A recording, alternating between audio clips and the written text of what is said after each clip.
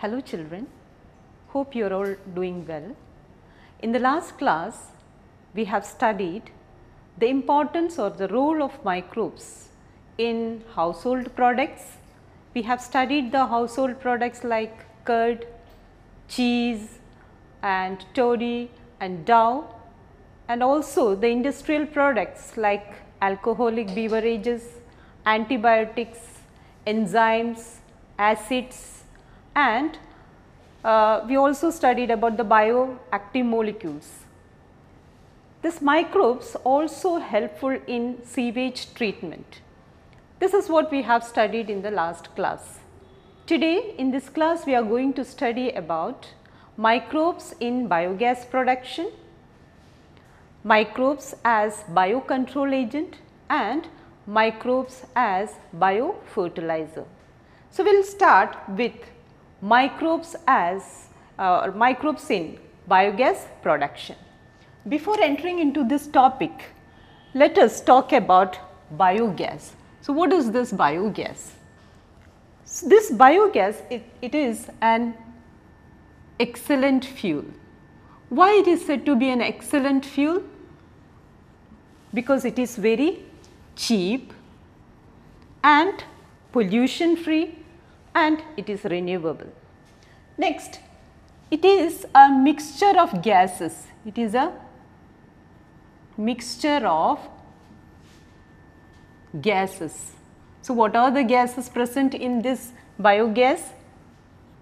Methane and carbon dioxide and hydrogen. These are the gases which is present in the biogas.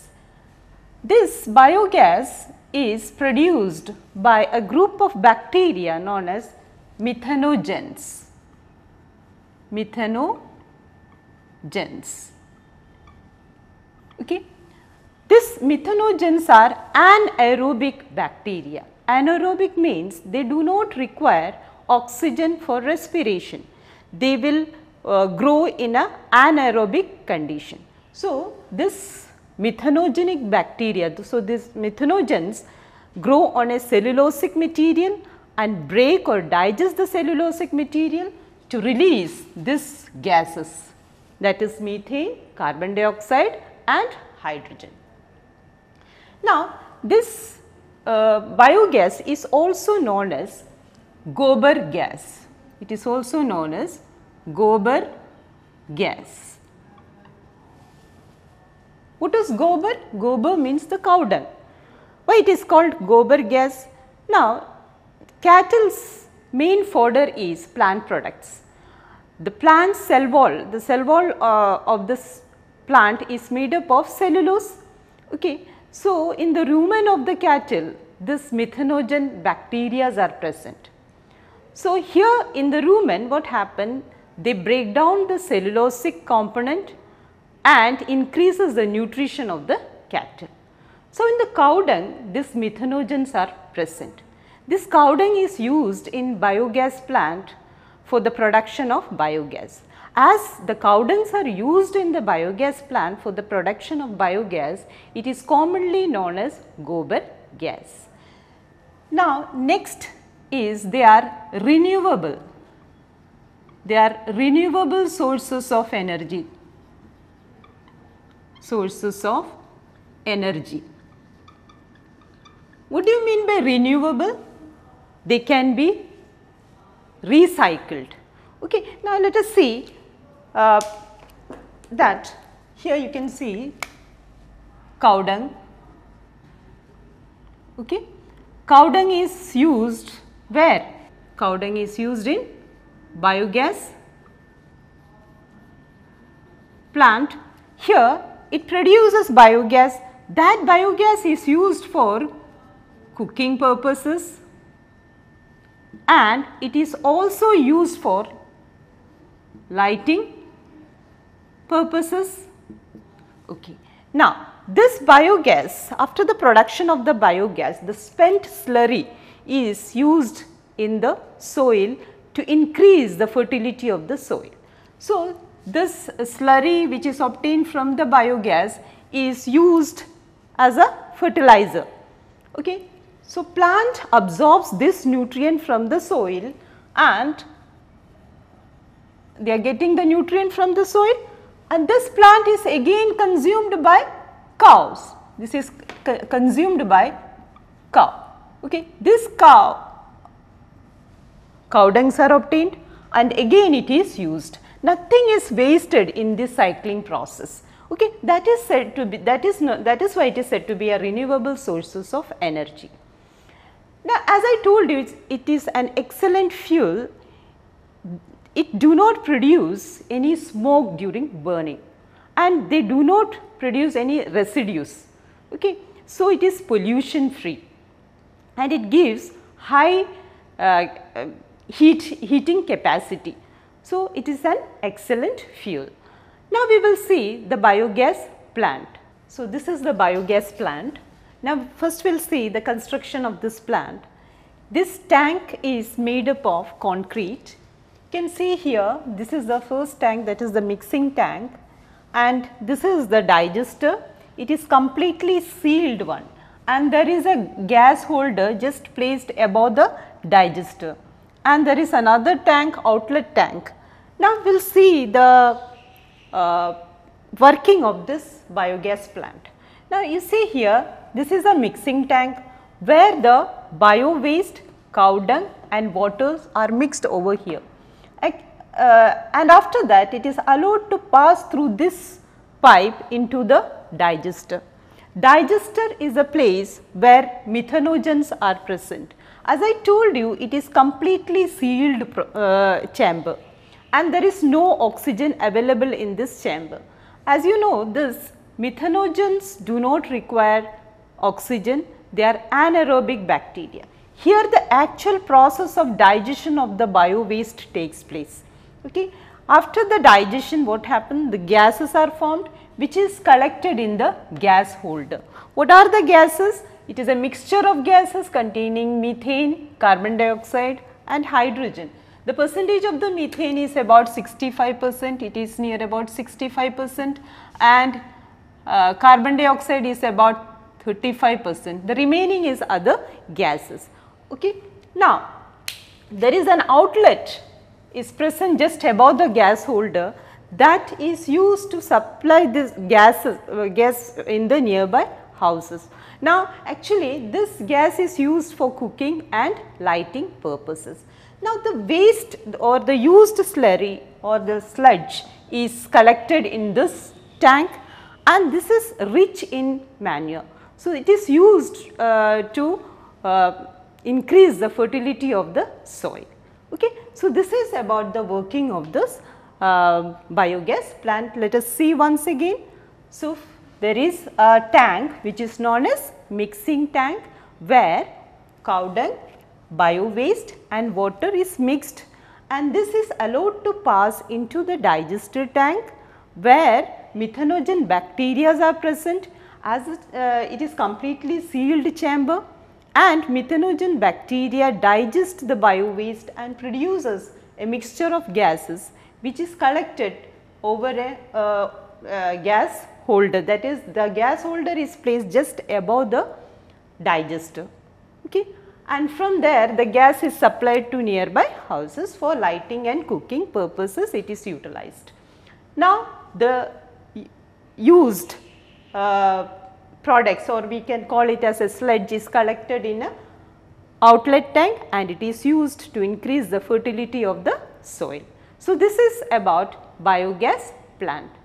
Next we will study microbes as biocontrol agent. Now, we will study the microbes as biocontrol agent. Before entering into this topic, let us study about biocontrol agent. We will see what is a biocontrol agent. Bio means life. Actually, it is a biological method to control pests and insects large number of plants are killed by this pest and insects. So, there is a great loss of a huge loss of uh, yield. In order to overcome this uh, loss, most of the farmers they utilize they uses insecticides and pesticides to control this pest and insect. But this insecticides and pesticides since it is a chemical product, it will uh, have a negative impact on the environment. So, it, it is having disadvantages. So, let us see what are the disadvantages of this insecticides and pesticides. The first thing is toxic to all life forms.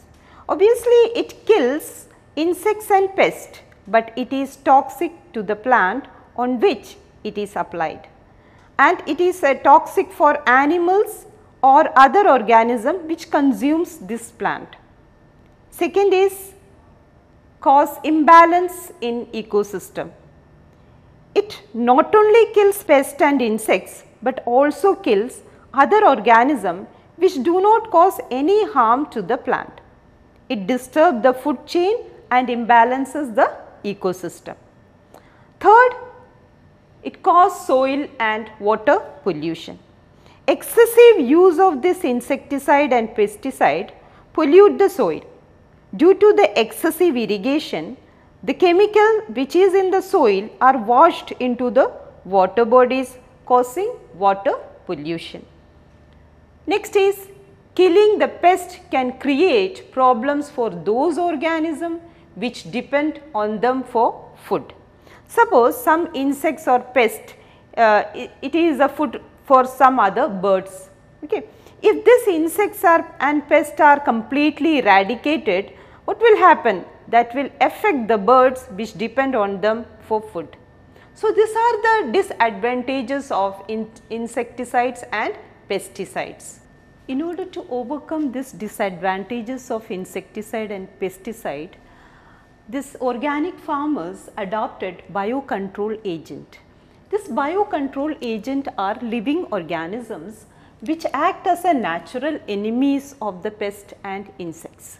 Okay. This uh, biocontrol agent they kill the pest and insects they but they do not damage other organisms uh, which is present in the atmosphere or in the ecosystem and it do not damage the plant. Okay. This uh, natural enemies or this biocontrol agent they do not completely eradicate the pest. Pest is also an important part in the ecosystem. So, they keep this pest in a manageable level okay, so that the uh, there should be a proper uh, balance in the ecosystem. Actually biodiversity is very essential for a vibrant ecosystem. Okay. Now, let us see how this natural enemies works or how the biocontrol agents works. It act as either as a predator, it act either as a predator for insects and pests or it act as a pathogen. So, first we will see how it act as a predator. So, first one is ladybird beetle. It attacks or kills aphids, aphids are its prey. Now, dragonfly dragonfly kills mosquitoes. They not only uh, uh, consumes uh, adult mosquito, they also consumes the larvae of the mosquito. So, if you release dragonfly in the area, uh, there will be a reduction in the uh, mosquitoes. Next is centipedes, spider, frog and lizard. They also consumes insects, harmful insects which is a pest. Now, Cat, cat also play an important role to reduce the number of mice, mice that damages the yield. Okay. So, in this way we can control insects and pest. Okay, this is this method is known as that is predators. It act as a this biocontrol agent act as a predators. Now, next is the biocontrol agents acts uh, as a pathogens. What is pathogen? Which cause diseases. That means, this biocontrol agents cause diseases to insects and pests. Now, we will see one by one. The first pathogen is bacteria. This particular bacteria which is called Bacillus thuringiensis which is commonly known as BT. It is commonly known as BT. This Bacillus thuringiensis it is available in sachet form in a dry spore uh, form. So, this uh, is dissolved in a water and it is sprayed on the vulnerable plants like fruit trees and brassica plants. So, when this insect's larvae feed on that plant, so what happens? This bacteria enters into its body and after reaching in the gut, it releases its toxic. Okay, that will kill the insect's larvae. Okay. Now, what happened? We will study in detail about this Bacillus thuringiensis in the biotechnology and its application.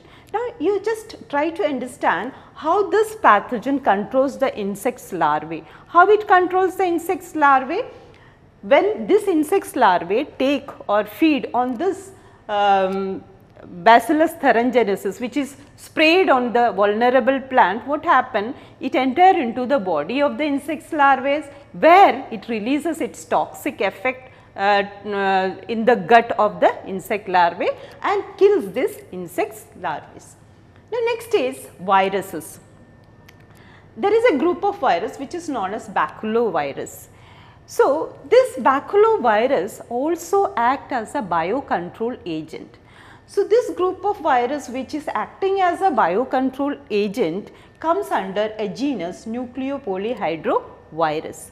It attacks arthropods and they are species specific. They particularly attack that particular types of species, do not damage any other organisms. Now, what are arthropods? Arthropod is a phylum where insect groups you can see. Okay. Now, next is fungi. So, that fungi, uh, a particular fungi called trichoderma which is found in the root ecosystem. It will, it protects the plant from pathogenic, uh, from various types of pathogen. So, this is how this uh, biocontrol agent protects the plant from uh, insects and pests. Now, you have seen varieties of things. That is whether it is a predator or it is a pathogen like bacteria, virus or fungi. Or here you can see the ladybird, dragonfly, centipede, spider, frog, lizard, uh, cat and all. They particularly attacks any uh, particular pest okay? They never damage any other organisms okay? So in this way we can balance the ecosystem Okay. So, this is an important method to control the pest and insects. Is it clear children? Next we will study bio uh, that is microbes as biofertilizers. Now, here we will study about microbes as biofertilizers. Now, you see children, first we will try to understand what is fertilizers. What are fertilizers? These fertilizers uh, are the substance which is added into the soil to uh, enrich the fertility of the soil. These fertilizers are substances which added into the soil to enrich the fertility of the soil. Okay. Now, they are of uh, can divide basically they are of two type that is chemical fertilizer and bio fertilizers chemical fertilizer and biofertilizers. Now, this chemical fertilizers actually after green revolution farmers adapt, adopted chemical fertilizer in order to increase the yield. But this is a chemical thing, chemical. So, it is having some disadvantages. So, let us see the disadvantages of these chemicals in the ecosystem. Now, the first is toxic to many other life forms as we have already studied in insecticides and pesticide. Next, cause imbalance in soil pH. Excessive use of this uh, fertilizer imbalances the soil pH that is it may either become too much acidic or too much alkaline. So, that result in soil infertility and it degrade the ecosystem. And again the excessive use of this fertilizer, the plant becomes susceptible to many diseases and fruits and vegetable have high toxic residues. If organism or uh, if human being consumes this fruit and vegetable, deadly diseases may cause. Okay. And it also causes environmental uh, pollution like soil pollution and water pollution. So, they these are the disadvantages of chemical fertilizers. So, to overcome this disadvantages on chemical fertilizers, biofertilizers are used. This bio means living organisms. That means living organisms are used to enrich the soil. That is known as the biofertilizers. Now, here you can see the living organisms uh, are bacteria, fungi and cyanobacteria. Actually, plant require a large amount of nitrogen. This nitrogen is present in the atmosphere. Plant cannot absorb nitrogen from the atmosphere. This atmospheric nitrogen has to be fixed. Bacteria and cyanobacteria are these two organisms, they fixes the atmospheric nitrogen okay, and it provides to the plant. Now, we will see the bacteria. Here you can see bacteria can be divided into two that is free living bacteria are there. Okay, they lives in the soil and fixes atmospheric nitrogen and enrich the soil nutrient. Examples of free living bacteria are Azospirillum and Azotobacter. Next is symbiotic association. What do you mean by symbiotic association? It is a mutual relationship between two organisms. That means two organisms live together, both are benefited by this association.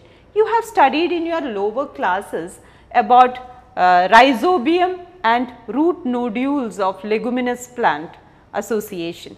So, uh, you can see that suppose this is the root okay, and in the root you can see root nodules. Okay, these are the root nodules which is present in leguminous plant. What is a leguminous plant? All the pulses comes under leguminous plant. Here in this root nodules, uh, if you remember st uh, students, you have studied the formation of root nodules in class 11th. Okay. In this root nodules what happened? This rhizobium bacteria leaves and after that this rhizobium bacteria fixes the atmospheric nitrogen. So, this nitrogen they provide to the plant and from the plant rhizobium bacteria gets a shelter as well as the nutrition. So, this is known as the symbiotic association. Now, this is about bacteria. Next, next is fungi. There is a fungus which is known as Glomus. It acts as a mycorrhiza what is mycorrhiza? It is a symbiotic association of uh, fungal uh, with the roots of the higher plant. It is a symbiotic association of fungal hyphae with the roots of uh, higher plants. Now, here by this association what happened? It absorbs phosphorus from the soil. Okay. So, it absorbs phosphorus from the soil and it supplied to the plant and it give resistance to root borne pathogens. Okay, plants get resistance due to the presence of this Glomus uh, with the uh, root borne pathogens and it helps in uh, to tolerate the salinity and drought. Okay.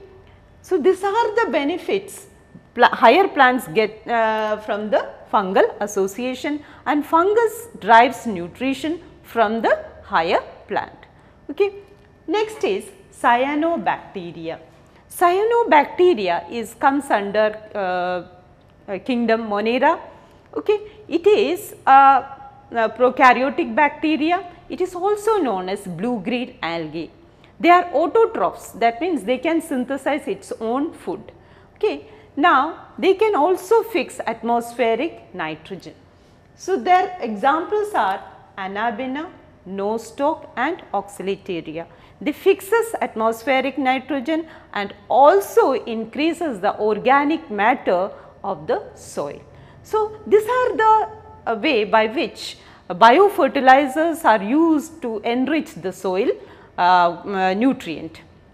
Now, what we have studied in the entire portion, many microbes are used in various, uh, various products. Now, first of all we have studied about biogas. Which microbe is used? Methanogens are used. Okay. Now, after that we, what we have studied biocontrol agent. Biocontrol agents certain living organisms which are used as a predators like ladybirds, dragonfly, centipedes, lizards, spider, cat. These are all used to control the pest and insects. And again uh, this pathogens that is biocontrol act as a pathogen to uh, control the pest and insects. So, it will attack the pest and insects and control uh, their growth. The examples are bacteria, uh, the example of the bacteria is Bacillus thuringiensis which is commonly known as BT.